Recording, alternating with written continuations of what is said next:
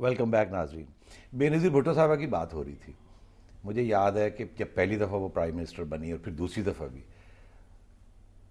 तो आपने ज़ुबान अच्छी इस्तेमाल नहीं की उनके खिलाफ। मेरे खाते में वैसे पड़ गया। देखें मैं एज ए अपोजिशन लीडर जो इस्तबालिया दिया गया बेनज़ीर भुट्टो को मैं उसमें शामिल था और ऑफ़ uh, कोर्स uh, एक uh, लड़ाई लड़ी जा रही थी जिसमें देखें ना अब वो सारे लोग दोस्त हैं जो सरे महल वाले और जिन्होंने जबानों वो उनकी बात तो अलग है मगर क्या आप सोचते हैं जब क्या आपका ख्याल है आपने सही देखिए किसी जमाने में मैं मैट्रिक में था फिर मैंने एमए किया।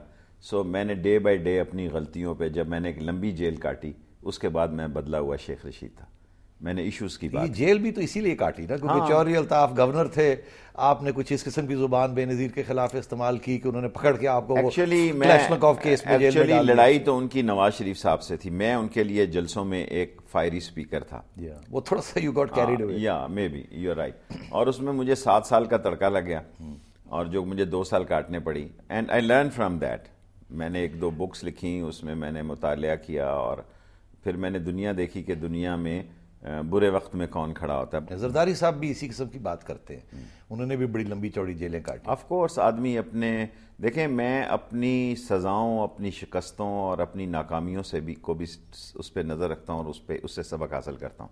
तो क्या सबक हासिल किया आपने? उसके बाद एक तो यह है कि मैंने किसी से बिला वजह पंगा नहीं लिया जी। आ बैल मुझे मार की पॉलिसी नहीं अपनाई। क्योंकि मैं उस गर्मी में पिंडी का रहने वाला दो साल काट के आया जहाँ ना बिजली थी ना कुछ था।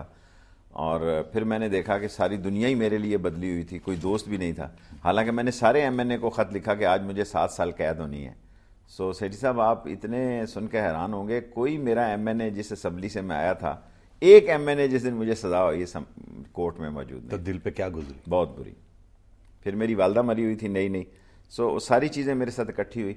सो मुझे मुताले का भी शौक़ पैदा हुआ और मैंने काफ़ी लोगों ने भी मुझे बहुत बुक्स भेजी। और मैं एक बहुत बड़ी लाइब्रेरी भावलपुर जेल में छोड़ आपने किताब भी लिख दी फिर? किताबें दो लिखी एक छप गई एक को नहीं छापा। क्यों?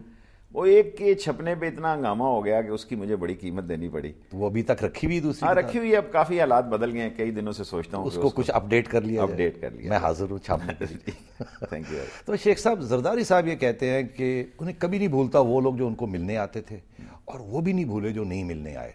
सही कि आपको भी याद है कौन नहीं मिलने आया और कौन मिलने आया।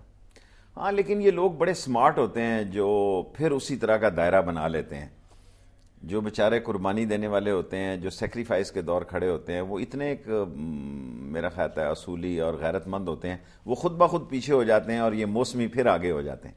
सो मैंने ये देखा है कि जो अच्छे दिनों, जो बुरे वक्त में आपके साथ लोग खड़े होते हैं, वो नेचुरली इस किस्म के लोग होते हैं, वो अच्छे दिनों में आपके करीब आना को इतना ज़रूरी नहीं समझते। उनकी नेचर में वफा होती है। और ये बेवफा किस्म के जो लोग होते हैं ये कोई ना कोई कारनर तलाश कर लेते हैं मौसम के बहाने सेहत के बहाने कोई अपना लंचिंग पैड बना लेते हैं सो फिर इन हो जाते हैं। ये मुझे बताएँ कि आपने नवाज़ शरीफ साहब के साथ बहुत वक्त गुजारा। मेरा ख्याल है आपने किताब में भी लिखा है या आपने कहीं कहा था कि मैं नवाज़ शरीफ को कभी नहीं छोड़ूँगा। जी हाँ। और फिर एक वक्त आया कि आप छोड़ दिया आपने उनको। ये तारीख और कौम फैसला करे और आप फैसला करें आप इतने बड़े राइटर भी हैं। आपका इतना नाम है पाकिस्तान में, किसने किसको छोड़ा? नवाज़ शरीफ ने मुझे छोड़ा। मैंने नहायत मुश्किल हालात में उसको टिकट अप्लाई किया। देखिए, मैं, मेरा लोगों को ये समझना चाहिए कि मैं पिंडी के हल्के से हूँ। और सारी दुनिया का प्रेशर मैंने सह कर मुस्लिम लीग को टिकट अप्लाई किया। और मैं पाँच दफ़ा उनका जीता हुआ मेंबर था। क्या दुनिया में ऐसा मुमकिन है कि मुझे टिकट रिफ्यूज़ किया गया? क्या दुनिया की किसी सियासी तारीख, क्योंकि उनको खौफ था। क्या? कि हर बड़ा लीडर टैलेंटेड आदमियों से घबराता है। लेकिन आपका ये प्रोग्राम नवाज़ शरीफ साहब भी सुन रहे होंगे। मैंने उनके जेल के दौरान भी वो काम दिखाए जो कोई और नहीं दिखा सकता था। क्या आपका ख्याल है कि वो समझते थे कि शायद अगर आप ज़्यादा अहम अहमियत मिल गई तो आप शायद मुस्लिम लीग के लीडर बन जाएँगे उनको रिप्लेस कर ये खौफ उनको पहले दिन से था जब मैं जेल काट के आया उस वक्त भी वो मुझ पर वॉच रखी हुई थी। देखें ना लड़ाने के लिए ये लीडर जो हैं हमें इस्तेमाल करते हैं। अच्छे वक्त के लिए हमें काट देते हैं। यही हाल जवेद आशमी के साथ हुआ। यही उनके अंदर एक और आदमियों से होगा मुस्तकबिल करीब में। अच्छा क्योंकि लीडर में जिससे मैं क्या ऐसे उसको होगा? जब अच्छा, होगा मैं आपको याद कराऊँगा मगर देखिए अच्छा चले ठीक है। मगर आपने वक्त भी फिर उनके साथ गुजारा। पिछली हुकूमत में नवाज़ शरीफ साहब ने कुछ ऐसे इकदाम किए जिसके ऊपर बहुत कॉन्ट्रोवर्सी थी। For example fifteenth constitutional amendment तो उस वक्त आपकी क्या पोजीशन थी? जब उन्होंने ये फैसला किया कि वो फिफ्टीन कॉन्स्टिट्यूशनल अमेंडमेंट करेंगे और अमीरुल मोमिनीन बन जाएँगे तो आप चुप करके बैठे रहे? देखें, कोई आदमी इकतदार के बाहर अब लोग, अब उस वक्त ये मीडिया नहीं था, मैं आपसे अर्ज़ करूँ।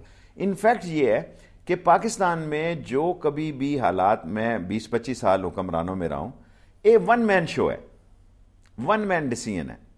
और जो लोग अपोज करते हैं, फिर उनके साथ जो होती है अब देखें ना एटॉमिक पे सारी दुनिया ये कहती है कि जी बड़ा रोल आप कैबिनेट की मीटिंग निकाल के देखें। ये एटम ब्लास्ट कराया राजा जफरुल हक ने गौर अयूब ने और शेख रशीद ने।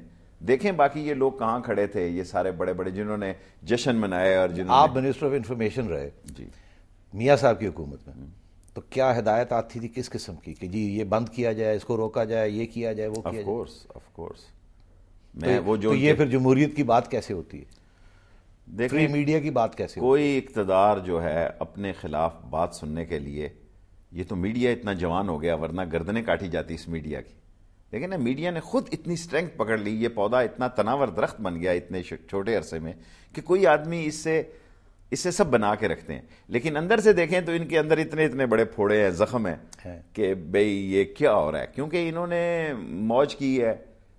देखें ना इस मुल्क में मीडिया इस वक्त दो कुतें रह गई हैं एक मीडिया और एक कोर्ट्स।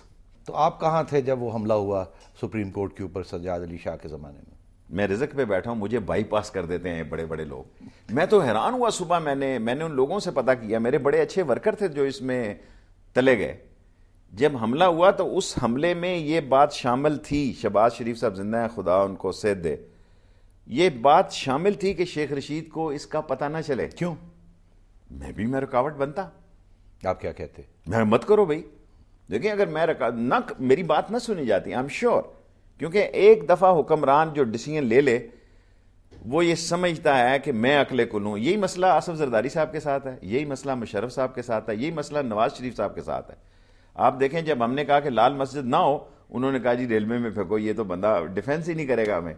मैं शायद अगर वहाँ होता इन्फॉर्मेशन में तो क्या उसके बाद काबीना में वगैरह आपने प्रोटेस्ट नहीं कोई किया कोई डिस्कशन ही नहीं होती जी ऐसी बातें काबीना तो ऐसी आती है कि फलाना मंशूर पास कर दो फलाना एग्रीमेंट जो है ट्रेड का वो ठीक है फलाना किसमें? दो चार आदमी होते हैं जो बोलते हैं। जब ये मियाँ साहब चले गए जद्दा चले गए ये मुकमका हुआ जो भी हुआ तो फिर आपने बहुत जल्दी से फैसला किया कि आप मुशरफ को ज्वाइन करना है और ये अब फौज रहेगी और अपना सियासी किरदार जो है यहीं तारीख लिखी जा रही है। मैंने अप्लाई किया नहीं मिला मैं इंडिपेंडेंट इलेक्शन लड़ा। फिर मैंने 20-25 दिन पैगाम भी भिजवाया कि जी आप काफ़ी होगी आपको कलामी माफ़। खत्म हो रहा है टाइम मगर एक चीज़ बेनजीर भुट्टो हमेशा कहती थी मुझे भी उन्होंने कहा। हम्म। उन्होंने कहा तीन शख्स हैं हम्म। जो अपनी सीट कभी नहीं जीत सकते आईएसआई। के बगैर। उसमें आपका नाम ज़िक्र किया उन्होंने एजाजुल हक साहब का कहा और हमायूं अख्तर का कहा। कहने लगे ये तीन शख्स अगर फ्री इलेक्शन हो आईएसआई इनको सपोर्ट ना करे तो कभी इलेक्शन नहीं जीत सकते। देखो जी ये तो खुदा बेहतर जानता है कि मैंने आईएसआई की पिंडी शहर से कभी सपोर्ट नहीं ली। मैं एक सेल्फ मेड वर्कर हूँ।